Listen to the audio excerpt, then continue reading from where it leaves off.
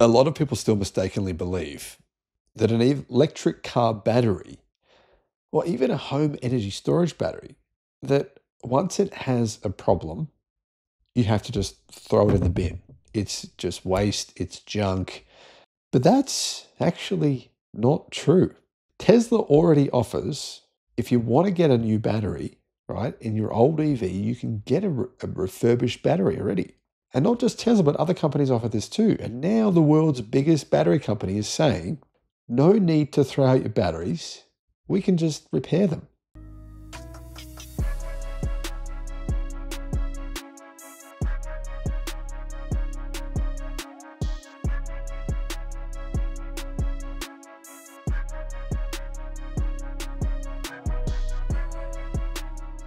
Hello, my friends. Welcome to the channel. I'm Sam Evans. You're watching The Electric Viking. Great to have you with us.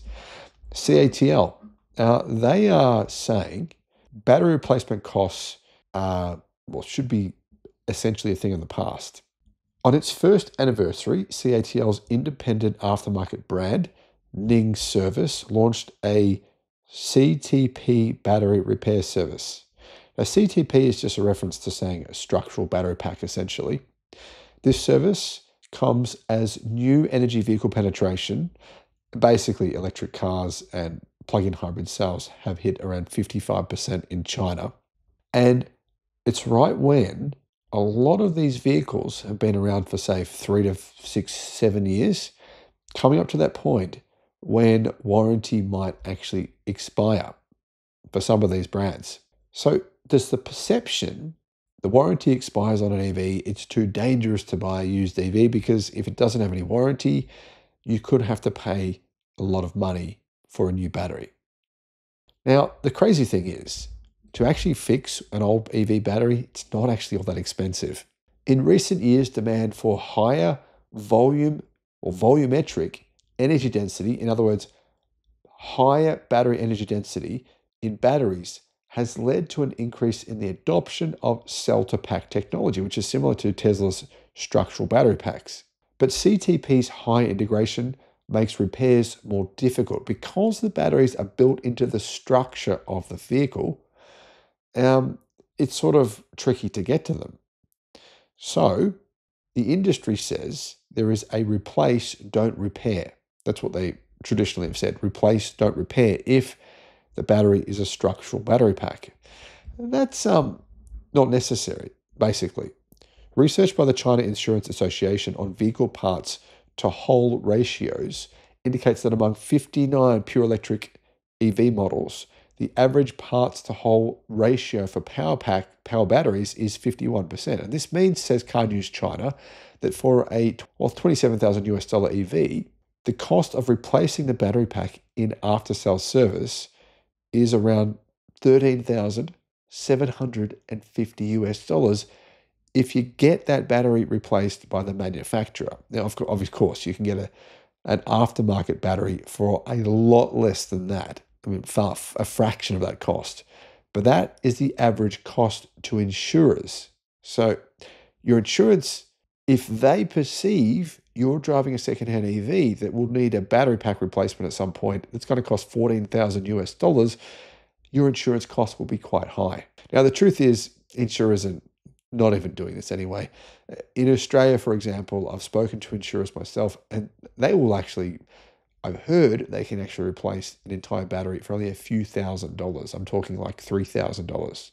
But technically, it's a bit of a scam going on here with the insurance costs, and I think insurers are sometimes getting ripped off.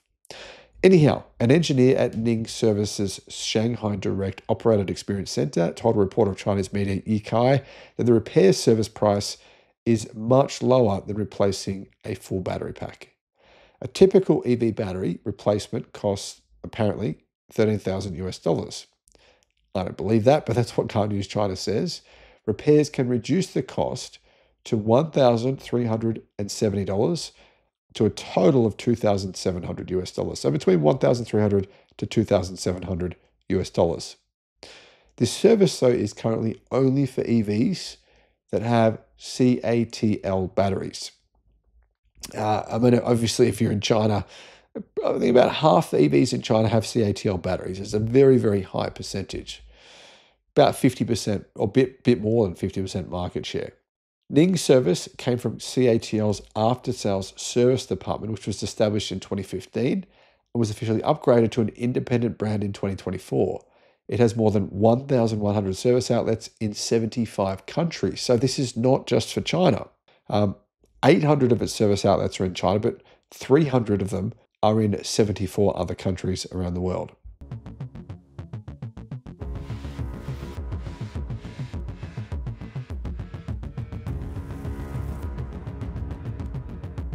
That means if you have, say, a Tesla Model 3, they use CATL batteries, uh, many other cars do, you can attend one of these Ning service centers in 74 different countries and they can test the battery, they can replace it, refurbish it, um, make it, you know, good to go again.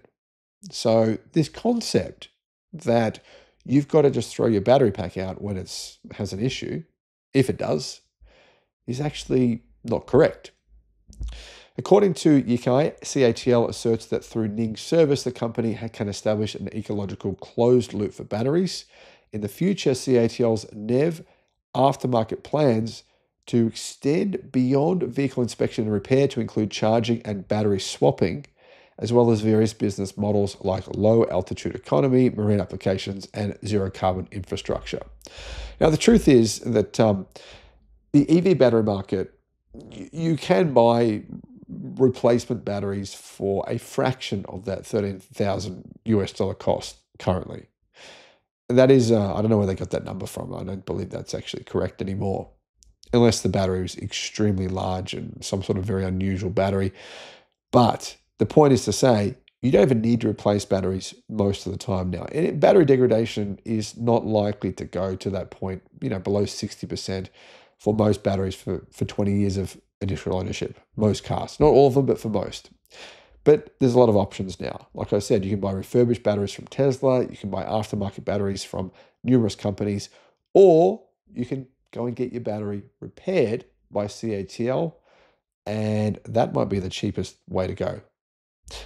Anyhow, this is pretty kind of cool, isn't it? Because really, this whole concept of saying EV batteries don't last, they need to be replaced. If you have one fault with them, they get thrown out.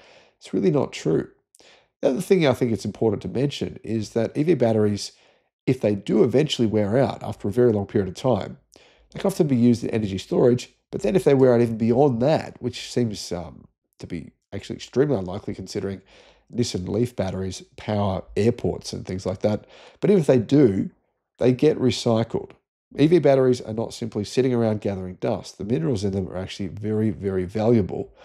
And therefore, this is a circular economy. This whole idea that EVs are very polluting to make and the batteries are terrible and you never get your payback, and not never, but you know, your, your payback takes a few years. Well, the truth is, in the future, we're going to say, well, all these minerals in these batteries have been recycled. That's the awesome thing about it. Let me know what your thoughts are. Thanks for watching.